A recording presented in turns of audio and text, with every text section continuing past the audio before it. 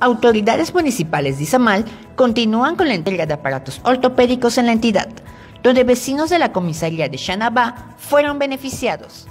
La entrega fue encabezada por el alcalde Fermín Sosa Lugo y la titular del DIF municipal, Seidy Ascorra, donde señalaron su compromiso con el bienestar de las y los izamaleños y que trabajará de manera incansable en busca de apoyos y programas que beneficien a la gente más necesitada.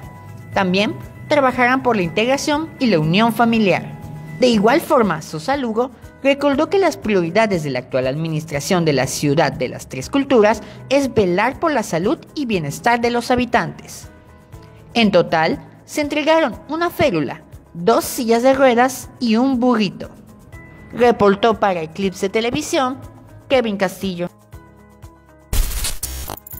Eclipse, televisión digital.